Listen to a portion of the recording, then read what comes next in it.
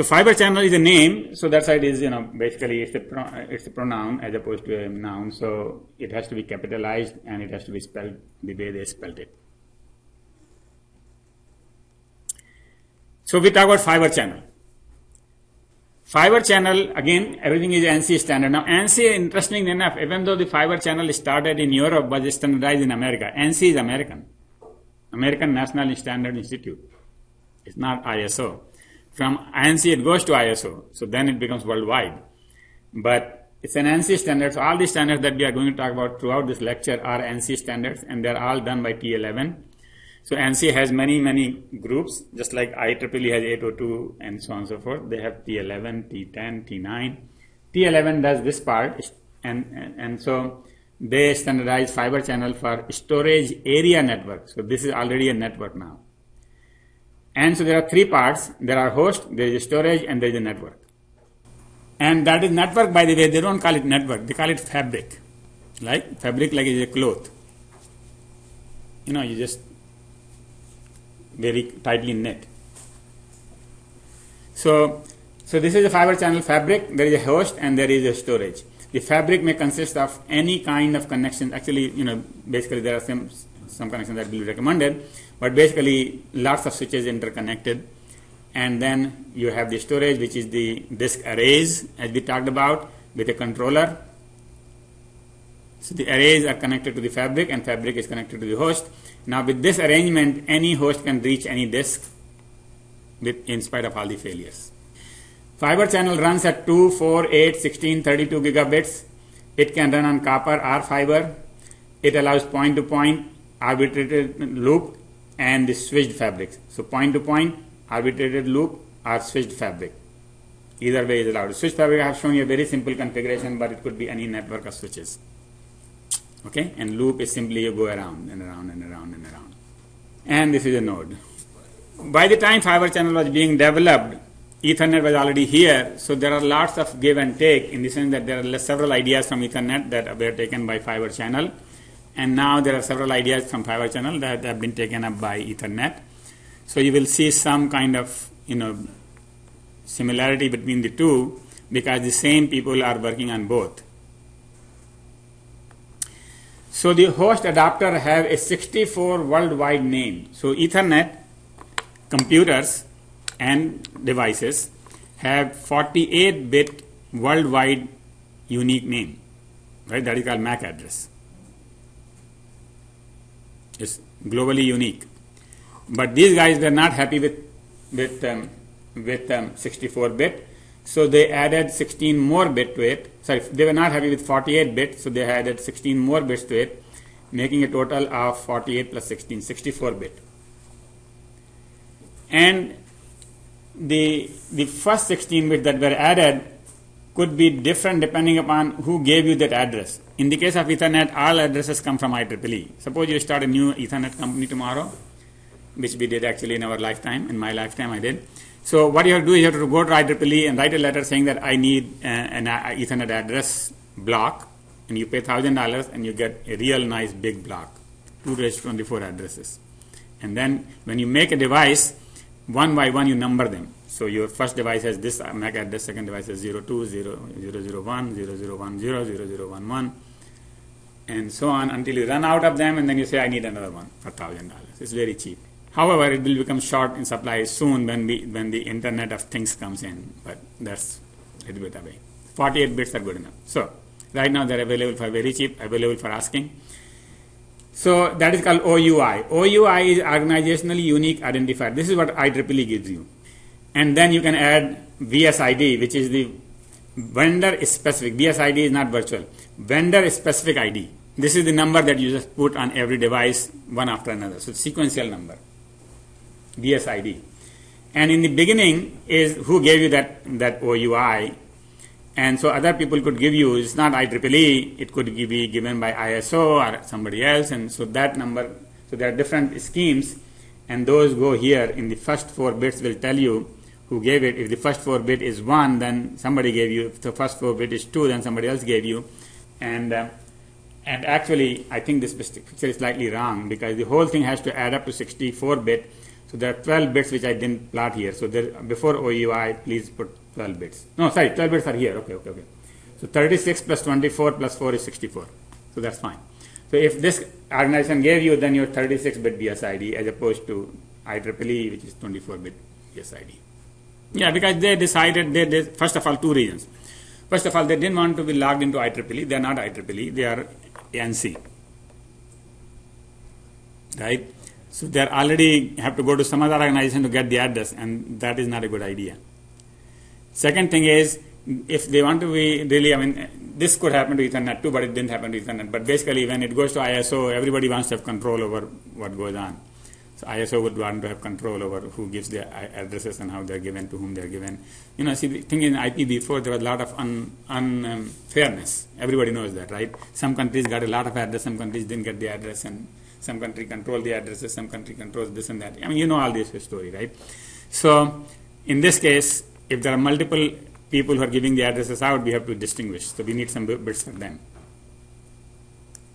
So, they felt adding 12 more bits and then adding 4 bits for the for the entity that gave you the address would be sufficient. So anyway, we got 64-bit addresses. They call it worldwide names. They don't call it MAC address. They don't call it fiber channel address. They call it WWN. And you know what is VSID, right? Vendor specific ID. That is a sequential number that is given by the vendor. And the devices actually are like this. What happens is you have the, the on the computer itself, the, there's a slot which says fiber channel, but it is empty. There's nothing in it.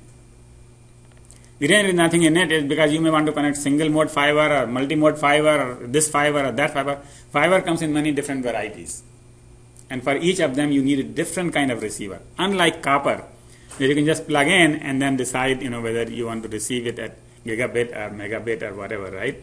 In, car, in fiber, the receiver is different for different kinds of fiber. So you cannot just plug in something and then the customer will find out that they, they have a different kind of fiber, right? So they let the customer put it in, and that is called GBIC. Gigabit Interface Converter. This is a GBIC. So you buy the computer, you buy the switch, and then you buy the GBICs to suit your cabling. You cannot change the cabling very easily. If you have cabled this building with single mode fiber, you can just put a single mode GBIC. And then you bring the fiber in, fiber comes connectorized, so the connectors go straight in, and so it's very easy to plug in. And um, hubs. So now the switches and the hubs. The hubs is a physical layer device, just like a Ethernet hub. It's physical layer device. It's like an active patch panel. Multiple host or storage devices can be connected to a hub, but only one host can talk to one device at a time. So I mean, you can connect many things to a hub. Inside the hub, there is a kind of a ring. So basically, it's just like a ring configuration where only one host can talk to second host. When one is talking to the second one, third, fourth, fifth cannot talk. That is FCAL that is the fiber channel arbitrated loop. Are switches. Switches is a link layer device and they forward the frame control frames. Not, sorry, not frame control. They are the fiber channel frames according to destination address. So just like Ethernet switch, they look at the destination address, where it is going, which port they should get out, which port they came in, thing like that. And then you have routers and gateways which do higher layer, layer, stuff as to connect to some other kind of network, another kind of device to speak some other kind of interconnection like SCSI or whatever. So the th- key thing is to know about the switches. Fiber channel protocol layers. So now just like Ethernet and IP, they have a protocol layer which is five layers, but they do not follow ISO model. So it's difficult to say where is what. Their first layer is cable, second layer is encoding. What is encoding? Encoding is when you give one bit, the question is how does it look on the wire? First of all, they do 8 bit and B encoding, which means that they take your 8 bit and convert them into 10 bits. Alright, so that if something, so that way basically they are using only 62 raised to 8 combinations out of 2 raised to 10 combinations. So right away they find out that this there is an error in this byte because it is an invalid combination like 25% of the combinations are valid, 75% are invalid. So there's a good chance that they will catch byte in error right there. So that is encoding. Then they have how to send it to where to send it, and there are three ways either by doing the switching, or by doing arbitrated loop, or by doing nothing, basically, which is point to point. Then they have to do things like encryption and RAID, which we'll talk about in a minute, and so that is generic services. And then they have to protocol map to the real device. And the real device may be SCSI, maybe IP device, or maybe IBM single byte control command set. See, thing is, this is difficult to say. For you, this is all physical layer because what you are doing is maybe IP. If you are using IP, you can come here. But let's say you want to you you really want to connect to an SCSI device, right? So this SCSI driver on your computer, if it is connected to fiber channel driver, there will somehow form a command in which SCSI command will be sent on the top of this SCSI FCP protocol on the top of all this and will go over the fiber channel network at the other end will come out. So it's difficult to say what is the application layer here. This is only disk. This is how it will start from the disk and it will go to the disk. Over there, the, the reason I'm saying is that application has a different meaning. Here, if you want to call everybody reading a disk as an application, then yes. That will be running on the top of this, on the top which is not shown here. Now, one thing to remember is that um, encoding is basically um, is different here and then second thing is that they have different kinds of topologies and that the RAID and encryption are part of the protocol layer here and then of course the mapping and then they use fast shortest path first. Just like we had e, ECMP equal cost multipath they have equal cost multipath but they call it FSPF fiber channel shortest path. So here is the interesting thing that they came up with the fiber channel fastest path before Ethernet guys adopted it.